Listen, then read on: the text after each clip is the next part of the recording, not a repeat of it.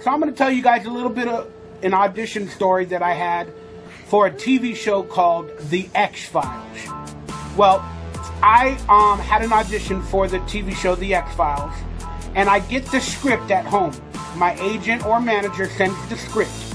It didn't have a lot of lines because we were playing soldiers in a virtual reality video game in this episode, and um, it didn't have a lot of lines. It had like screaming and yelling, like, "Come on, let's go!"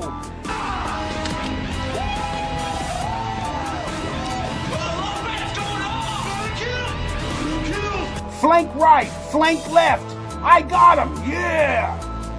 So I didn't know how to perform this script. There wasn't a lot of acting. It was just action. And I'm a fat guy and I don't really do action very well. But the character specifically wanted a 250 pound virtual reality nerd video game person. And luckily I was bald at the time, you know, sometimes I shave my head because I got real thin hair, but I like shaving my head and I look kind of cool, you know, I kind of kind of look like a, a tough guy. You know, being bald always makes you look a little tougher. Go to this audition, and again, I only have like yelling, like, come on, let's go. And it was a producer session, meaning Chris Carter, the creator of The X Files, was going to be in the room. And I knew this going in. So I'm sitting in the hallway thinking about, and I see actors going in and out, you know, just going in.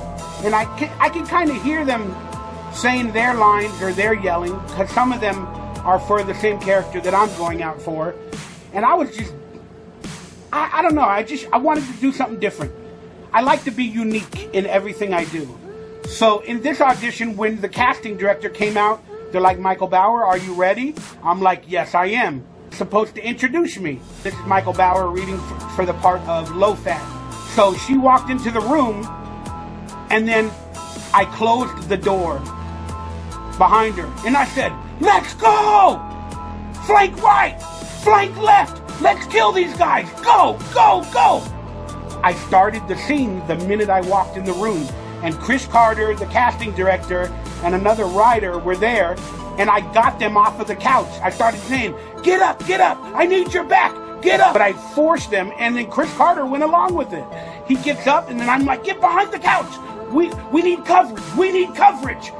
All right, we're gonna go here. We're gonna go there. You're gonna cover my blind side. We're gonna go in there. We're gonna kill these motherfuckers. They literally got behind the couch with me, and I'm looking at them like this.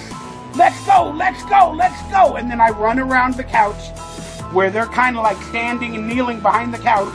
And then I do my scene where I get shot and I go, oh, oh, oh. And then I fall and then I die like in the virtual reality. But I did it and they were all behind the couch.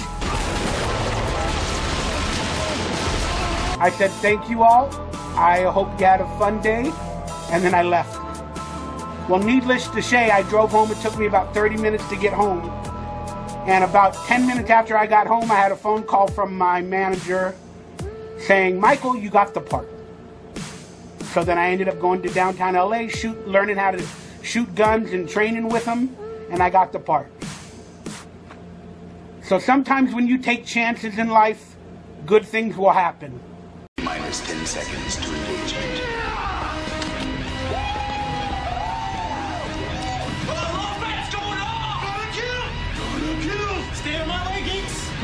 On the next level, yeah. I'm a death machine.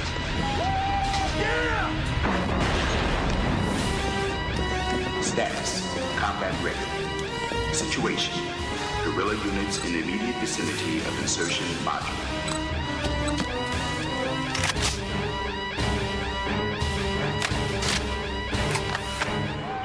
Yeah. Let's do this. Bring the team out. Look at these heart rates. If I don't let these boys out, they're gonna kill each other. Five, three, two, one. Engage.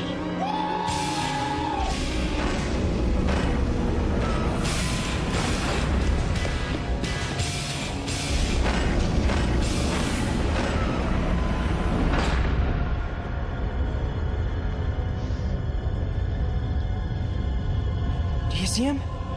They're up there, geeks. Looking to fry your huevos.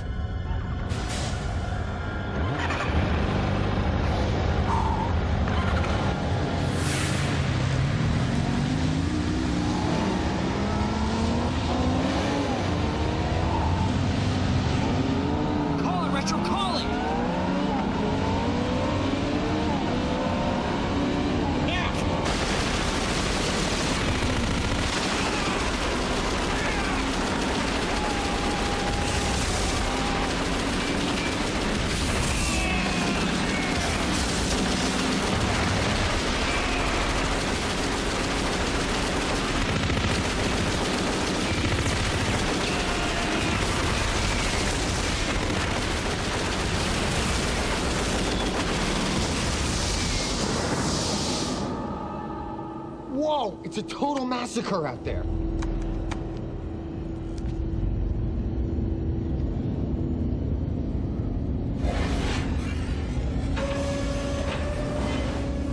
Phase two, geeks.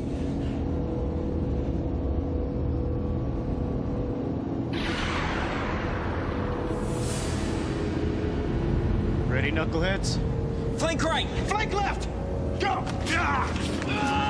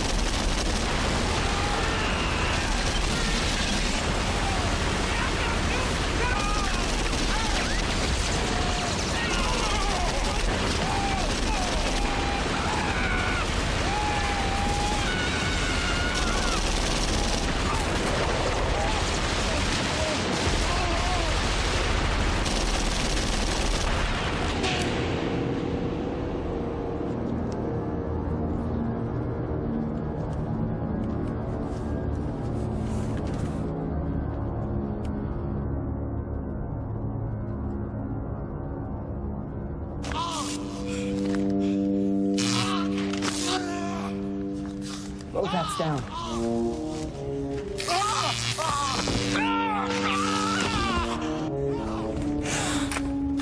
You Got me, Moxie? Got you covered.